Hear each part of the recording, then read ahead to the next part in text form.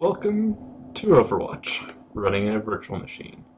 Um, this is at the lowest settings I could get it so that I could get a playable frame rate with not very many frame drops. Uh, let's go to the practice range because then I won't be holding other people back, but I mean, it's pretty easy. So uh, hero select screen. Uh,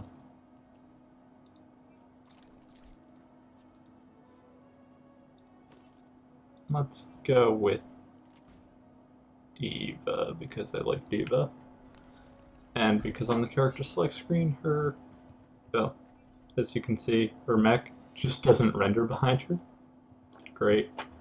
Uh, this is what it looks like. Uh, yeah, that's extremely graphically glitchy. It's hard to tell well where walls are versus where it's transparent.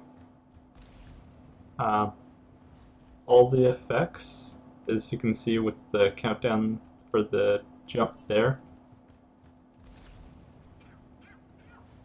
uh, their backgrounds are just not being rendered. Health um, things, you know, see at the top there, that's normally filled in with how much health they have. Right now it's just not being filled in, and you're just getting a trace around the outside. I'm currently getting like 60 FPS, but that's because it's literally as low as it will go. So this is like PS4 quality. It's kind of jank as fuck. Got alti. Uh,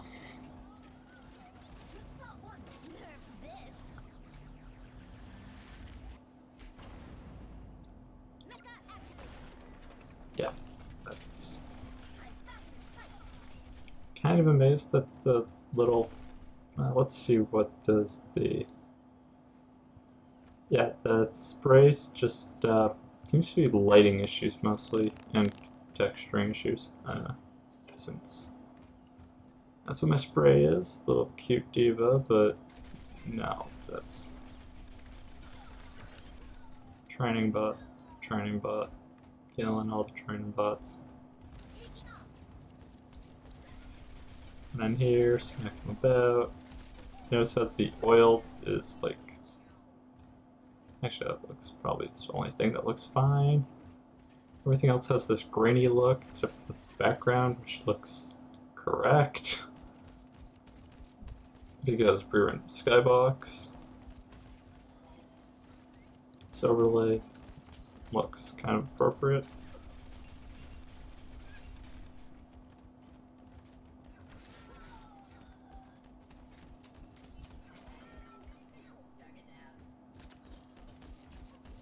So yeah, this is what Overwatch looks like inside of a Parallels virtual machine. And Parallels kind of has the best rendering out of the things I've tried. So, I mean, it's not unplayable, kind of is, but if you needed to, you could play like this, kind of. You kind of would need to have, like, already know the game to be able to play like this, because just before I recorded this, I did play a match on Kings Row Defense, and my team won, somehow, but I was you couldn't play like Tracer. Where's the door?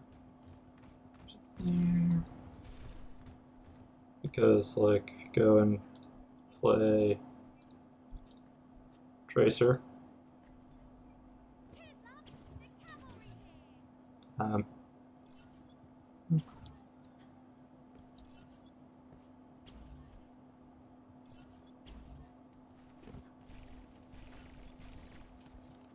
I find that aiming is usually a bit hard, and my ping is atrocious like this.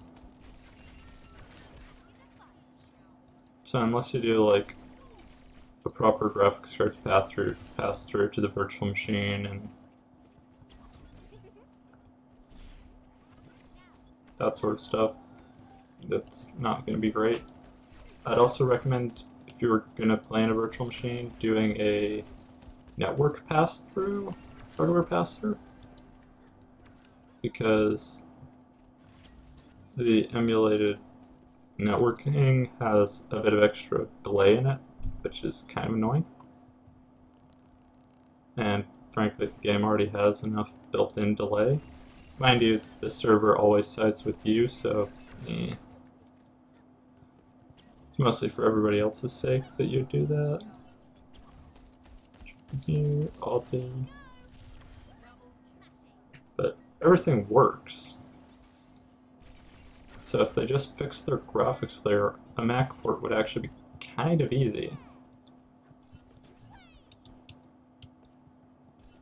Because, I mean, they just need to fix their DirectX 12 weirdness, well, DirectX 11 weirdness. Replace it with some OpenGL or Metal. I'd say OpenGL, just so that they can also release some Linux port, but eh.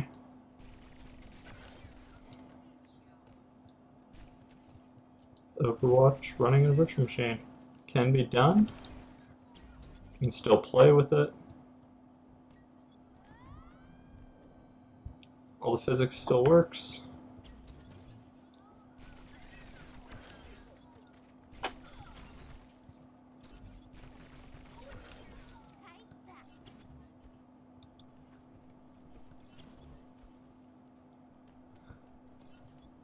But you need to know the cooldowns because things that you'd see graphically, like the number of jumps you have. Currently I've got three jumps, but you'd normally not be able to tell that because it looks like I've got none.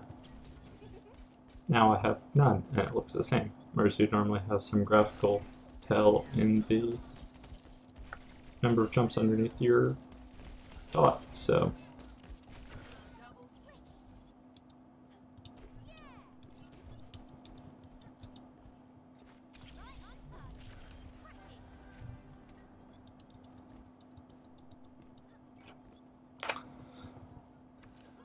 Thanks for watching this assessment of the Overwatch in a virtual machine. Please rate, comment, subscribe. See you in the next video.